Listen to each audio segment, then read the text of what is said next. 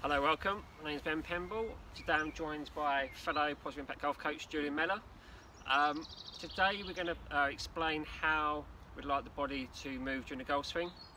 We've had a lot of uh, inquiries about how the front, what the front foot should do during the golf swing. Should it stay down? Should it come up?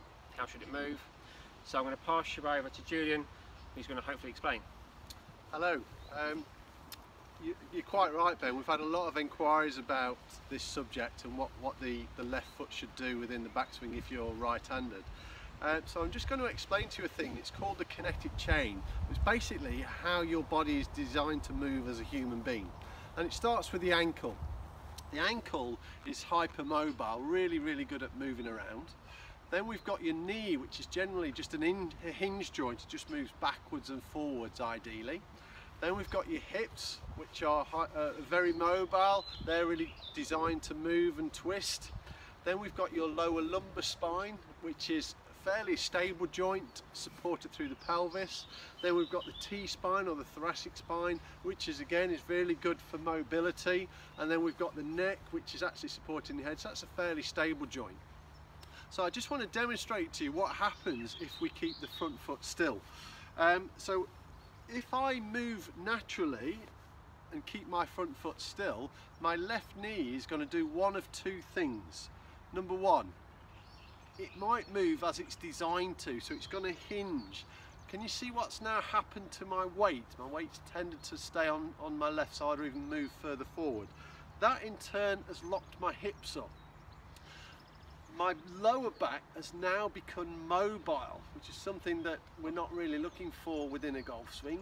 And then we've got the T-spine, which now locks up, and my neck becomes strained. So if I keep my front foot still, my knee bends forward, my weight stays forward, my hips lock up, my T-spine isn't moving as it should do. Now, if your knee doesn't do that, it's going to do something else which we don't really want it to do, and it's going to move inwards.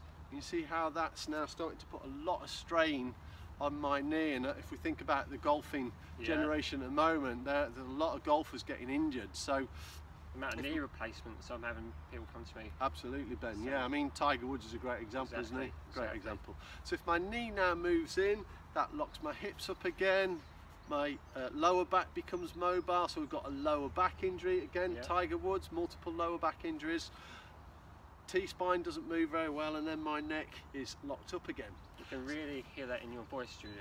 It, it's Not strain. I had so much tension to my golf swing. You know, the number one enemy of, of golfers and the golf swing is tension. Tension. Let's, tension. let's try and keep that to a minimum. So what should the ankle do? Ideally, it's going to move freely within the golf swing.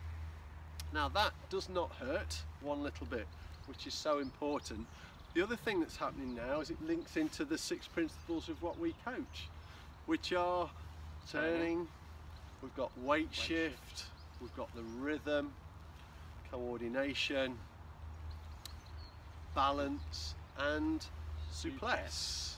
Exactly what we're looking for within the golf swing. Yeah. Um, if you found this video helpful uh, or you'd like to know any more information about positive impact coaching by all means get in touch with us. My, my contact details on my website is julianmellorgolfschool.co.uk. Yeah, mine's Ben Pemble, uh, golf.weebly.com. Um, yeah, any any help, any advice, please get in contact with both of us. Um, hope to hear from you soon.